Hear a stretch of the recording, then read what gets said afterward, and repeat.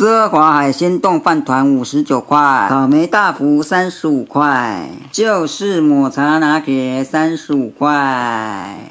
就是咖喱鸡排乌龙烩面九十九块，巴贝欧牡蛋蛋包饭一百零九块。大家好，我是风。那么今天吃货区呢，是粉丝们敲碗推荐的，就是要我开箱这个九妹的 seven 全品项。但是我有两样商品没有买到，跑了好几家 seven 都卖完了哈。有两款商品我没有买到哈，一个御饭团的另外一个口味，跟一个照烧鸡的。三明治哦，我没有买到那两样哈，就是找了好几家 seven 都没卖了哈，那就放弃了，那就吃看看这其他的商品到底有什么好吃的呢？当网络上很热议啊，就是有些人在破说，因为我还没吃之前就一堆人疯去吃啊，疯去开箱哈，那不然各大论坛啊，各个的社群网站都在讨论哈，然后有人说这个价钱不值得哈，里面的那个。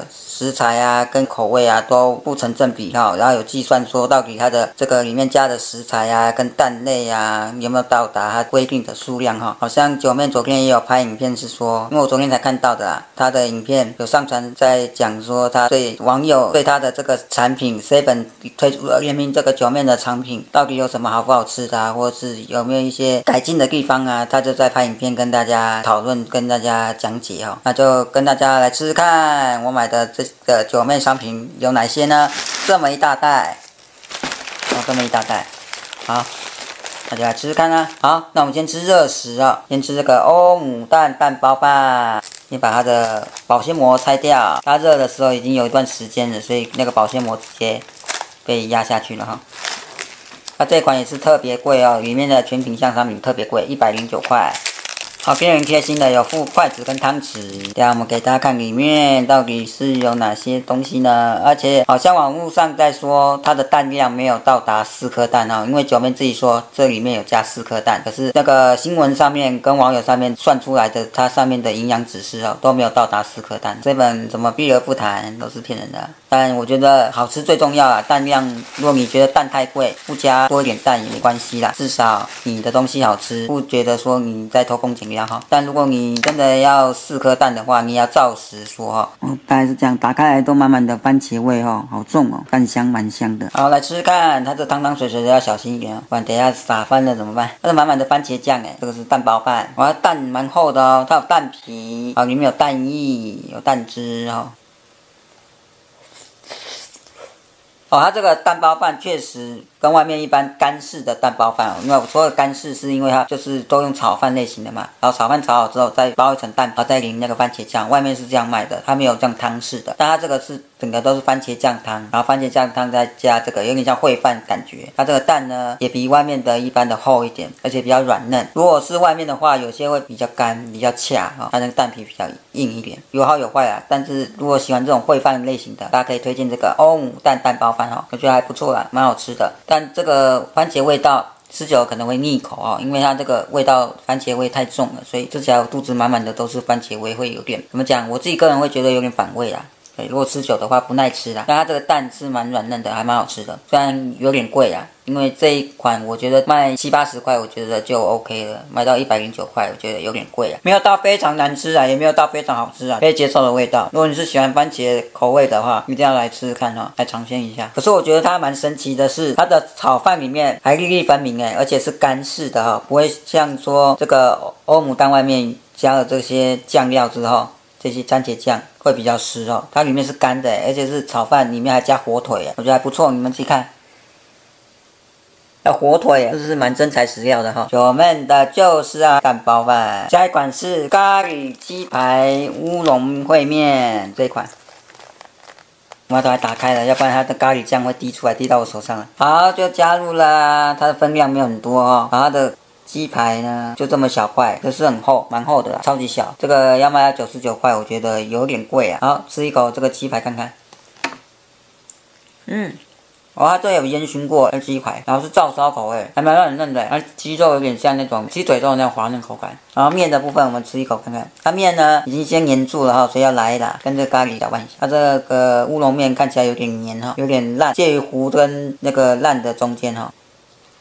它这乌龙面是算有嚼劲的，但是它的面体是比较细的，不是那种粗的。因为有些像乌龙面啊，它是粗粗的，它这是比较细长的。反正就是个人见仁见智嘛。大家如果觉得它的商品不错吃，就会觉得好吃啊。你支持这个网红，你就会喜欢哦。因为其实九妹的影片我也蛮常看的，尤其是她的就是要对决，还有她的就是要买房一大堆哦，就是要开箱，我有时候也会看哦。手机评测啊，电脑评测啊，电脑改装啊等等的。然后我觉得它这个咖喱酱可能吃久会腻哈，因为我现在就开始有点不太舒服了，胃有点不太舒服，因为它这咖喱酱实在是味道太重了，所以吃起来会久了会腻哈，有点辛辣的口味哈，加上南洋香料哈，但我觉得整体上来讲是还算不错的哦，评价算还可以的。还有人把他的咖喱乌龙烩面换成什么？把他的那个照片换成了桶神的照片，大家有没有看到桶神的照片？哇，太扯了吧！还画统神呢？你怎样？啊，九妹跟桶神对打，哦，PK PK PK 哦，我统神卖的比较好，还是九妹卖的比较好？大家来赞，大家底下来留言哦。我不是九妹粉，但是我喜欢看九妹的影片。接着来吃一下这个奢华海鲜冻饭饭团，它这个饭团要卖五十九块，特别的贵啊！我也是觉得真的很贵，因为以前吃御饭团，我记得这个价格好像只有二十五块，最便宜的好像还有十五块的哈，十五块是那个尾鱼的。他们说要这个袋子要往他的脸下面撕哈，大家来，我们来撕九妹的脸。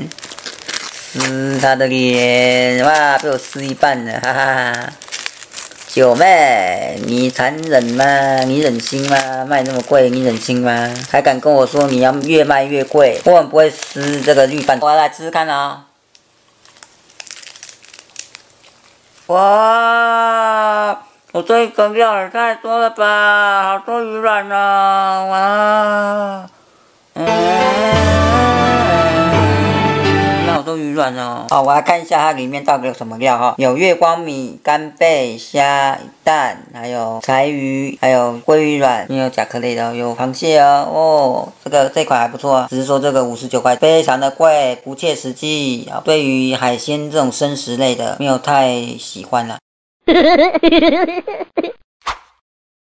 好，接着跟大家喝这个就是抹茶拿铁。那这是日本静冈的抹茶哦，不知道是真的还是假的。那就打开倒在杯子里喝喝看，给大家看一下那抹茶的味道、那颜色。其实个人不排斥抹茶啦，但是有些抹茶蛮苦的，苦到我真的是 吃不下去哦。但是如果有点回甘，那这些都是请 seven 的代工厂来做的这些饮料啊、生食啊等等的哈。好，喝喝看。它是感觉真的是蛮像粉泡出来的，但是它的这个抹茶味道蛮苦的，苦甜苦甜的这样子，有它那个抹茶的原始味道，我觉得做的还蛮真的啦。这款就是当我的等一下的下午茶啦。那最后来吃一个甜点，我之前有吃过哈，那就跟大家吃看。这个甜点就是草莓大福哦，我之前在高雄的 seven 也有吃一个哈，当早餐呢。我觉得这个大福啊，个人是觉得满满的化学味啊。但我今天还是要吃吗？有点不太想吃因为它这个大真的吃起来草莓味是蛮化学的哦。然后它这边有搭配了这么的 CD 咖啡现存茶哦，组合价是六十九元哦，所以如果你搭配那个 CD 咖啡的茶类哈，就可以比较便宜一点，但是也是要六十九块啊，非常的贵。招商的东西没有便宜的，好不好？好了，我还是吃一下。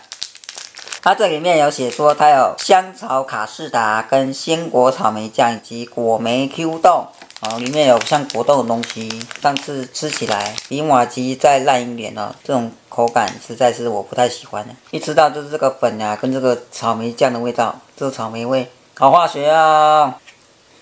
你有没有喝过那个感冒药水？感冒药水不就草莓口味的，就是那个味道，大家知道吧？就那味道哦，吃不下去，这个不推荐，这个一定不要买，不要买，我推荐大家不要买，不要买，一买你就去把它吃完。要不然就不要吃，把它丢到垃圾桶。吃一口你会觉得很恶心，很像在吃药水。我就不再多说了。九妹的商品就是因为以他一个网红来讲啊，大家如果喜欢他的那个影片的话，就去支持他的频道啊，买他的会员。这种网红这种商品，你们就常常看吃吃看就好了，都不会觉得好吃的啦。像之前那个 Toys 不是开饮料店吗？陈之汉嘛，对不对？那个饮料茶排的大排长龙啊，我觉得那也是噱头啦，就冲着它的网络人气很夯。冲着它是网红，大家都去买，其实真的商品都不好喝，而且它那个饮料可能都是廉价的饮料，就是回冲再回冲，就是拿一些比较低成本的这个香料啊配一配。我觉得这个根本就不是做生意的根本哈，做生意要老实，要用真材实料，用好的料。你卖贵没关系，但是你用的是真材实料好的，自己熬的，自己弄的。那个才叫做真正的饮料店。你随便标榜哦哦，我这个是现榨的，是那个好的饮料，可是都是浓缩的，都是什么香精香料，而且卖便宜，减成本，